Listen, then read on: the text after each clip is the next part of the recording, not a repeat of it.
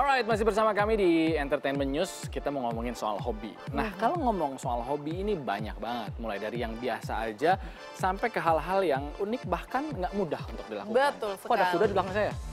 Nah, ini contohnya menunggangi kuda. Menunggangi Iya, kuda. ternyata nih gue walaupun kalau kita tahu harga Mahal. buat kuda mahalnya setengah Mahal. mati, banyak juga nih selebriti yang punya hobi tersebut. Ya. Ada siapa aja mereka? Ini dia informasinya sudah dirangkum dalam Celebrity Countdown. Seperti yang kita tahu, menjadi selebriti tentu memiliki pekerjaan yang cukup padat sehingga menyita banyak waktu. Hal itu kemungkinan menjadi salah satu alasan bagi mereka untuk menikmati dan melakukan kegiatan di saat memiliki waktu luang dengan pergi bersama keluarga dan orang-orang terdekat seperti menjalani hobi. Namun, tak banyak yang tahu jika para selebriti ini mempunyai hobi yang cukup unik yaitu berkuda. Seperti aktris Keira Shabira, wanita berusia 27 tahun ini ternyata memiliki hobi berkuda sejak dua tahun belakangan ini. Berawal dari kecintaannya dengan hewan, wanita kelahiran Bandung ini pun menjadi rutin melakukan hobi uniknya tersebut.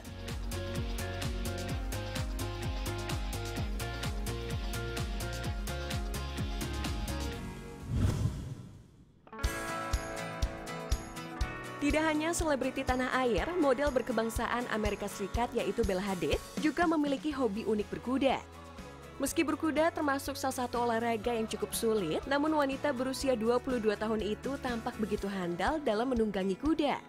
Bagaimana tidak, adik dari Gigi Hadid itu sudah 10 tahun menekuni olahraga unik tersebut, bahkan dirinya sering mengikuti kompetisi berkuda. Bahkan dalam video tersebut, Bella nampak begitu dekat dengan hewan mamalia tersebut saat memberi makan layaknya sahabat.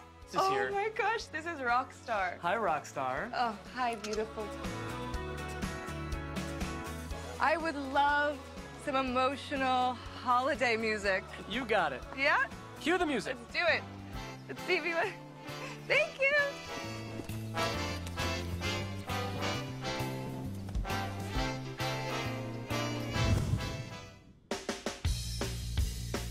Di tengah kesibukan sebagai aktor sekaligus presenter, Irfan Hakim ternyata juga memiliki hobi berkuda. Bahkan pria berusia 43 tahun itu rela pergi keluar kota hanya untuk melakukan hobinya tersebut. Tak sendirian, anak sulungnya yang bernama Aisyah Maidina Hakim ternyata juga memiliki hobi yang sama dengan dirinya. Melalui akun YouTube-nya, ayah empat anak itu membagikan momen keseruannya saat berlatih menunggangi kuda.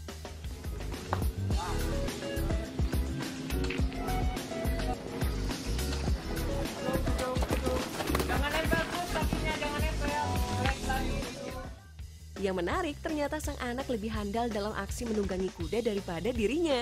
Hal itu juga diperlihatkan oleh Irfan di mana sang buah hati sangat piawai dalam berkuda dengan tahapan yang diberi nama jumping.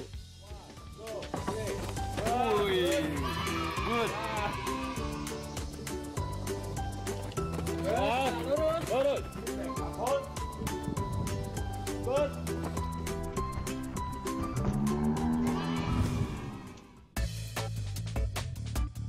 Meski kini aktris Nabila Syakib sudah jarang terlihat di layar televisi, namun dirinya tidak pernah melewatkan hobinya untuk berkuda. Seperti yang terlihat belum lama ini, ibu satu anak itu kembali membagikan momen saat dirinya menunggangi kuda dengan handal di akun Instagram miliknya. Dalam video tersebut, wanita berusia 33 tahun itu terlihat mengenakan kostum lengkap dengan topi berwarna hitam ciri khas bagi penunggang kuda, bersama kuda favoritnya yang berwarna coklat yang ia beri nama Karitano.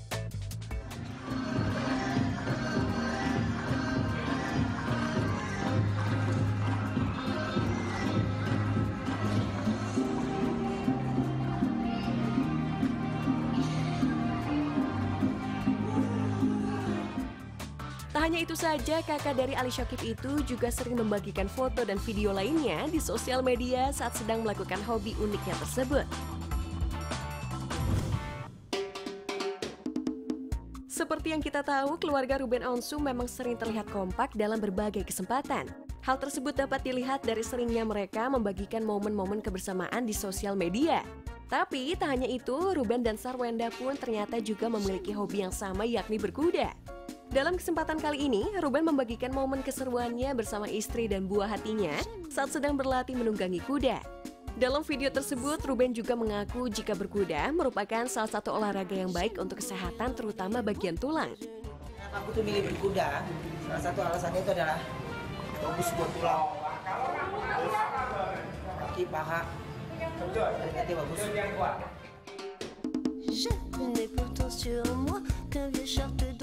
Memperlihatkan kekompakan mereka saat berlatih kuda, Ruben dan Sarwenda juga membagikan momen saat sang anak Talia memberi makan dan memandikan hewan mamalia tersebut.